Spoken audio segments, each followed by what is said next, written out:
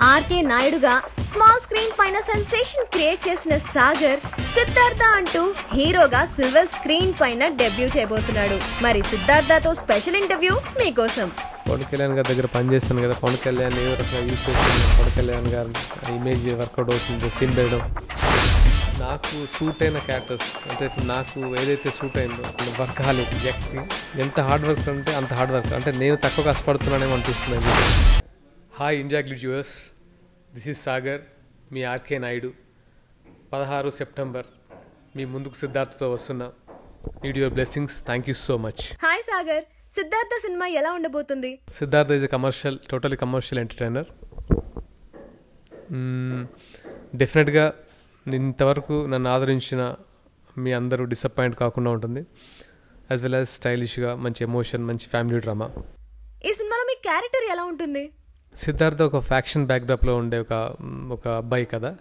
And it's it's a total love story actually action backdrop love story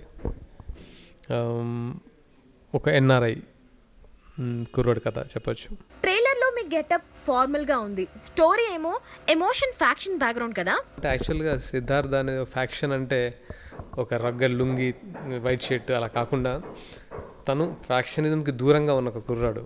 so తన own job తన own లైఫ్లో బతుకుతూ ఉండే కుర్రాన్ని సొసైటీ రప్పిస్తుంది అంటే అంటే సొసైటీ కోసం అనివార్య అంటే డిఫరెంట్ సిచ్యువేషన్ వల్ల రావాల్సి వస్తుంది. సో తన డ్రెస్సింగ్లో ఏ మార్పు ఉండదు. మేబీ తన తన లైఫ్లో తను ఉంటాడు. సో సర్కమ్స్టాన్సెస్ అంతా చేంజ్ చేస్తుంది ఆ అబ్బాయి లైఫ్ని. మీ సినిమా టార్గెట్ ఆడియన్స్ ఎవరు?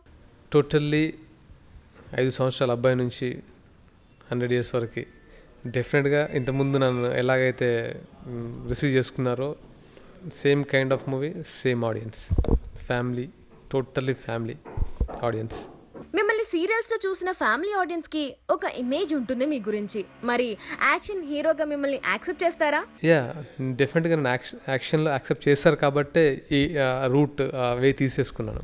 నన్ను ఆల్రెడీ నేను నేను సీరియల్లోనే ఆ మాస్ యాక్షన్ ఇమేజ్తోనే వచ్చాను. సో డెఫినెట్గా వాళ్ళకి అదే నచ్చింది అదే రిసీవ్ చేసుకుంటారని ఒక నమ్మకం.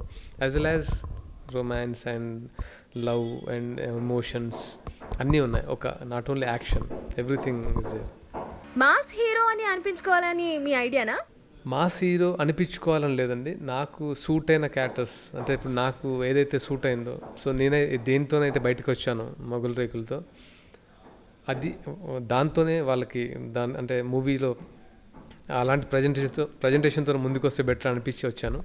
And regular okay okay mass ఆడియన్స్ని టార్గెట్ చేయాలి క్లాస్ ఆడి అలా కాకుండా ఒక మంచి మూవీస్. అంటే చా- ఇప్పుడు చాలా మూవీస్ వస్తున్నాయి. చ- మామూ అంటే కమర్షియల్ మూవీసే కాదు కొత్త మూవీస్ కూడా సక్సెస్ అవుతున్నాయి. అవి మాస్ ఆడియన్స్ చూస్తున్నారు క్లాస్ ఆడియన్స్ చూస్తున్నారు. ఆడియన్స్కి ఏది నచ్చితే అదే అదే మూవీ ఇప్పుడున్న రోజుల్లో. సో అందరికి నచ్చే మూవీ చేస్తాను. సీరియల్స్ వదిలేయడానికి కారణం సినిమాలపైన ఇంట్రెస్టా? సీరియల్స్ వదిలే వదిలేయడానికి సినిమా ఇంట్రెస్ట్ అని ఎందుకంటే నేను యాక్చువల్గా సీరియల్స్ చేస్తున్నప్పుడు అంటే ఒక స్టెప్ సీరియల్స్లో నేను ప్రూవ్ చేసుకున్నాను. ఆఫ్టర్ దట్ నా స్టెప్ ఏంటి? నేను ఏం చేస్తే బాగుంటుంది? అంటే సో నాకు మూవీస్ ఒకసారి మూవీలోకి వచ్చి అంటే ట్రై అని కాదు. డెఫినెట్గా అంటే ఇప్పుడు సీరియల్స్కి వచ్చే ముందు ఎలాగో సక్సీడ్ అవ్వాలనుకున్నాం. సో మూవీస్కి వచ్చి కూడా సక్సీడ్ అవ్వాలని అనుకొని వచ్చాను. సీరియల్స్ ఎప్పుడు డినే చేయను. ఎందుకంటే ఆ ప్లాట్ఫామ్ నుంచి వచ్చాను. ఆ స్ట్రగుల్స్ అక్కడ ఎంతమంది అయితే ఎంతమంది అక్కడ లైవ్లీహుడ్ రిటర్న్ బెటర్ దొరుకుతుంది. సో ఇప్పుడున్న సిచ్యువేషన్లో సీరియల్స్ ఆర్ అంటే ఆర్టిస్ట్లకు కానీ టెక్నీషియన్స్ కానీ ఒక మంచి అంటే ఒక మంచి ఉపాధి అని చెప్పొచ్చు. సో ఎప్పుడు నేను డినే చేయను. ఇండస్ట్రీ అంటే అది ఎంటర్టైన్మెంట్ ఇండస్ట్రీని ఎప్పుడు నేను ఎక్కడ అది సీరియల్ అయినా వెబ్ అయినా ఏదైనా డినే చేయను. Industry industry. సేమ్ నా దృష్టిలో.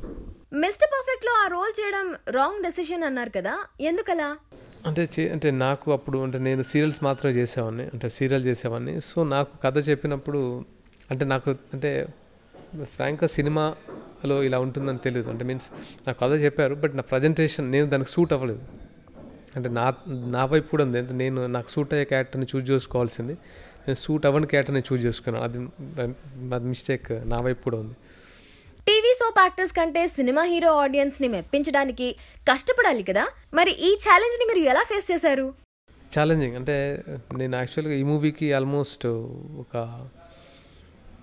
one and half year two years వరకు నా బాడీ లాంగ్వేజ్ చేంజ్ చేసుకోవడానికి ఫైట్స్లో కానీ మిగతా బాడీ లాంగ్వేజ్ నేను కొంచెం తీసేసుకున్నాను. అంటే సినిమా అనేది కంపేర్ టు సీరియల్స్ కొంచెం డిఫరెంట్ అంటే టెక్నికల్గా అండ్ అండ్ మన పర్ఫార్మెన్స్ కూడా కొంచెం మోర్ ఇంపాక్ట్ ఉంటుంది. సో టూ అండ్ హాఫ్ అవర్స్లో ఆడియన్ ఆడియన్స్కి మనకి మన నుంచి ఏం ఎక్స్పెక్ట్ చేస్తారో అది ఇవ్వాలి. సో దానికి కష్టపడక తప్పదు.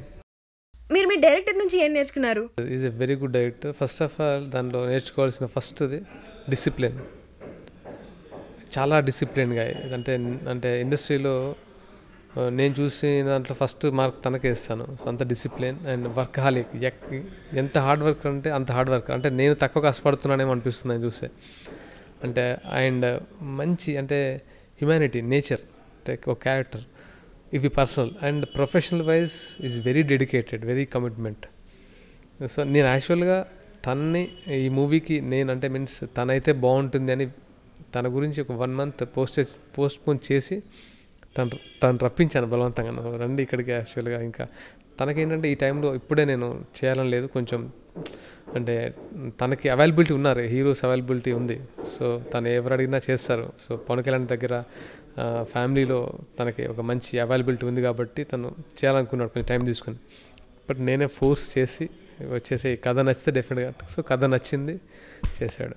టెక్నికల్ డిపార్ట్మెంట్స్ గురించి చెప్పండి. ఎస్ గోపాల్ రెడ్డి గారు కెమెరామెన్ తను ఈ మూవీకి సిద్ధార్థకి టోటల్ బ్యాక్ బోన్ అంటే సిద్ధార్థ స్టార్ట్ అవ్వడానికి ఫస్ట్ మేము అప్రోచ్ అయిన వ్యక్తి గోపరెడ్డి గారు. తను ఒప్పుకున్న తర్వాతే సిద్ధార్థకి ఒక మూమెంట్ స్టార్ట్ అయింది. After that Mani Sharma garu after that పరశుర్ brothers గారు. అంటే టాప్ టెక్నీషియన్స్ అంతా దీనికి అంటే మీదకి అంటే నేను తెలియ అంటే నేను మొగల్ రేకులు తెలుసు ఒక ఆడియన్గా అంటే మీన్స్ వాళ్ళకి ఆడియన్స్లో ఉన్నాను కాబట్టి గుర్తుపట్టారు.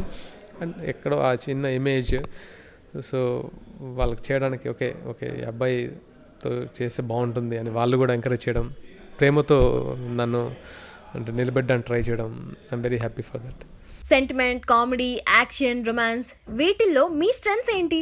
నాకు నాకు సెంటిమెంట్ యాక్షన్ అండ్ ఇవి రెండు నాకు స్ట్రెంత్ అంటే నేను రెండు నాకు నాకు అండ్ ఫైట్స్ యాక్షన్ నాకు నాది పెద్ద నా మైండ్ నా బలహీనతలు అంటే నేను ఇంకంటే నేను చేయలేదు అంటే నేను వేరే క్యారెక్టర్స్ చేస్తే నాకు తెలుస్తుంది కానీ రెండు చేయగలను మిగతా కూడా చేయగలను నమ్మకం ఉంది. నేను బలహీనతలనే నేను పూడ్చుకుంటూ వచ్చాను. సో ఐ కెన్ డూ అంటే ఒక ఆర్టిస్ట్గా నేను ఇండస్ట్రీలో ఉండాలంటే అన్నిటికీ నేను ప్రిపేర్ అయి ఉండాలి. అన్ని అన్ని అంటే మీన్స్ ఇది చేయలేను అది చేయలేను. సో అన్నీ నేను చేయగలను అని నమ్మకం నాకు ఉంది బట్ కొంచెం మోర్ స్ట్రెంత్ యాక్షన్ వైపు సెంటిమెంట్ వైపు. మోర్ స్ట్రెంత్ ఇద్దరు హీరోయిన్స్కి బలమైన క్యారెక్టర్స్ ఉన్నాయా? హీరోయిన్ క్యారెక్టర్ చాలా ఇంపార్టెంట్ క్యారెక్టర్ అండి. రాగిని నంద్వాని ప్లే చేసింది.